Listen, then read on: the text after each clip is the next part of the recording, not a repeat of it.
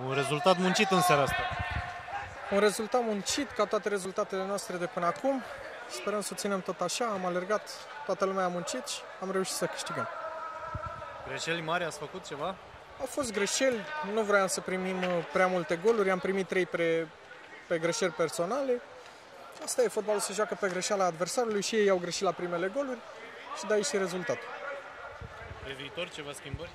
Pe viitor, ce schimbări să facem? Noi de la începutul sezonului am fost aceiași, nu avem ce schimbări să mai facem. Mai sunt 3 sau 4 etape, deci rămânem aceiași clar. Și pe sezonul viitor, probabil la fel.